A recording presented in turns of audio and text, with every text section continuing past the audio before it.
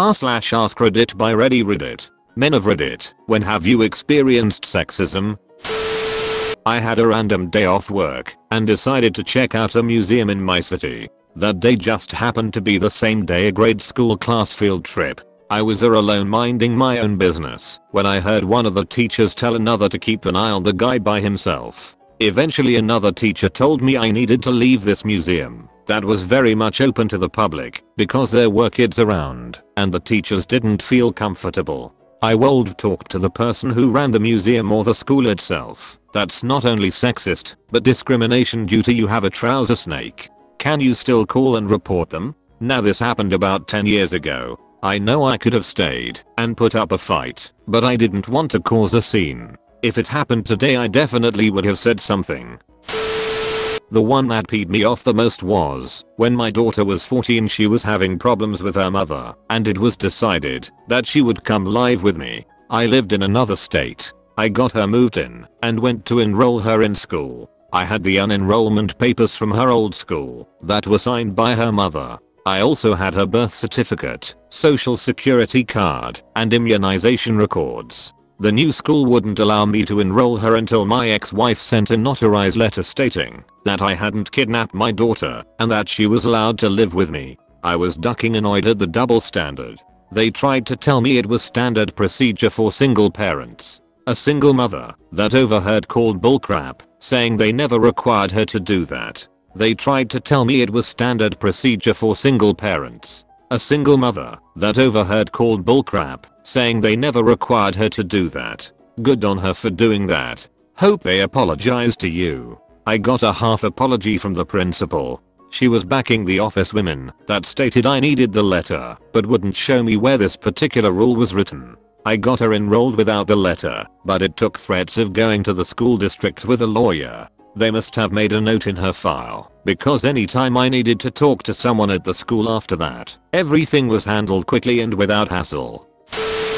I know that I'm far from alone in this, but I've gotten it at public places. I'm an involved dad.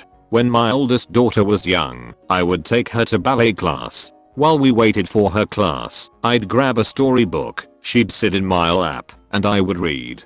I'm an expressive reader, kids love it, and I would invariably have multiple little girls hanging around me, trying to get up into my lap, so they could see, and I would just cringe from the looks around the room, even when I was actively discouraging it. Honey I'm not your dad, I don't think your mom wants you to sit with me. Eventually, the moms got to know me and decided I was okay, but it was not comfortable for a while. At the park, I push my kids on the swings, I chase them around, etc. Other kids tend to want to join in. I have to be super careful, else I'll get everything from the stink eye to rude comments. And of course, the condescending comments are the best no, lady, I'm not a weekend dad, I'm not giving their poor mother a break. I'm here 24, 7, 365 days a year. I spend time with my kids every day. I look forward to sharing moments. Bite me. My husband has built up an Nerf arsenal and likes to play with our son outside when it's nice.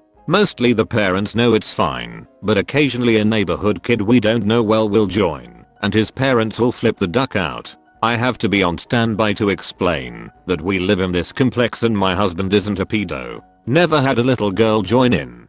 I once had to calm a mother literally screaming at him in front of 10 kids about how he needs to stay away from the children and he's a creep because he hugged a little girl who was actually a long-haired boy and our son. I hope that lady apologized. That would put me in a sad mood for the rest of the day. She did not. I feel bad for her boys because she turned out to just be mean in general and it was for sure starting to influence them. Not a good neighbor, but absolutely not a good role model.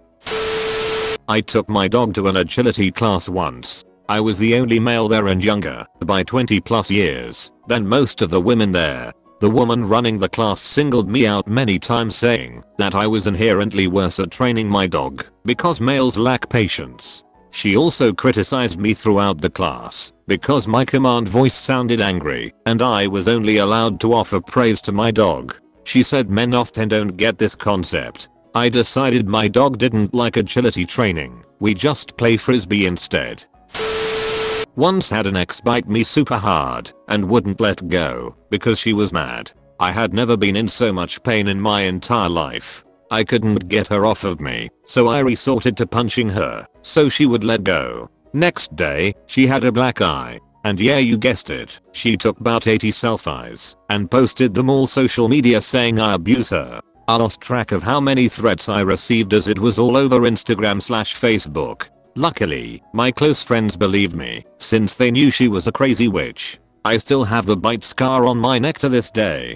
This wasn't the first time she abused me, it just happened to be the last. Edit. Thanks for all the replies. I pretty much just deleted all my social media after this so avoid further threats and words thrown at me. There wasn't much I can do to stop the train, so I just avoided social events for a while. It really did suck though.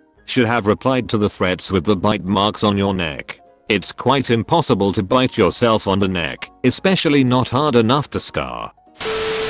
Accused, while in the military, of rape, sexual assault and unnatural acts. Went on date with girl, slept with girl 3 times in a week, always consensual, twice initiated by her. Girl liked my friend.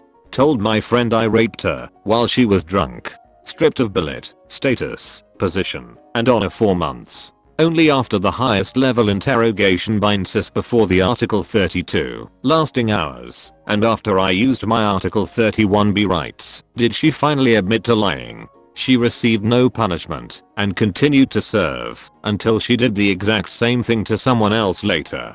Guy went to court martial, found innocent. She received no punishment. She went on a downward spiral and got out on medical discharge. She now has a substantial medical pension. My life was almost ruined.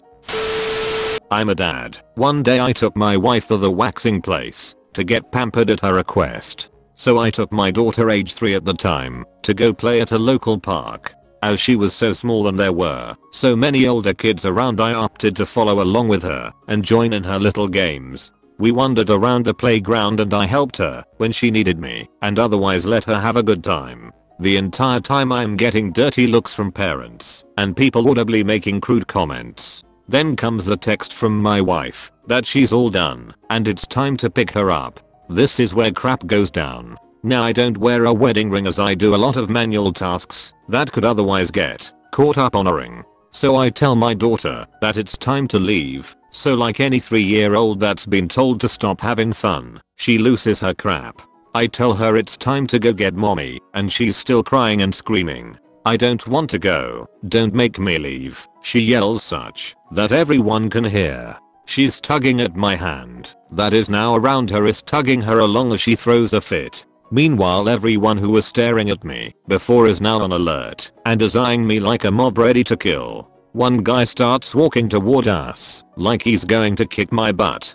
The entire group of adults look at me heads following my movements like some robotic zombie monsters. I tell her honey we have to go pick up mommy. And she finally yells, but daddy I don't want to leave. All I can think is, thank god she said daddy. Suddenly the guy stops and all the heads simultaneously turn back to what they were doing like the monsters can't sense me anymore. The zombies suddenly lose interest. My heart was racing thinking I was going to be mobbed Finally I tell her we can come back after we pick mommy up. Only then does she calm down and walk with me. I guess you can't be a dad out with your kid. You have to be a pedophile. If it was my wife, no one would have so much as looked up. I know because on the return trip she had a fit again, but it was my wife this time tugging her along. They were invisible to the surrounding parents. TL, DR, almost got mobbed at the park because my kid had a fit and they thought I was kidnapping her.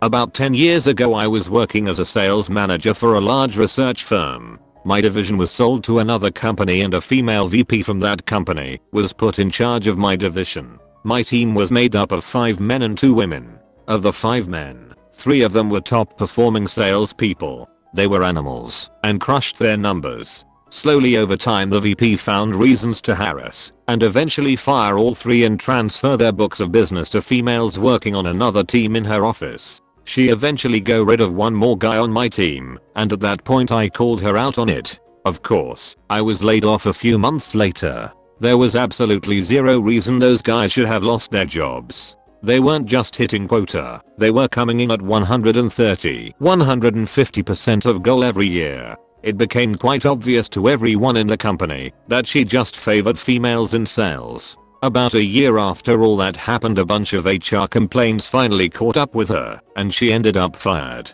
I'm surprised it didn't catch up with her more quickly if she was ducking over sales results. Thank you for watching Ready Reddit. Don't forget to like and subscribe for more r slash ask Reddit videos. Share your stories in the comment section below.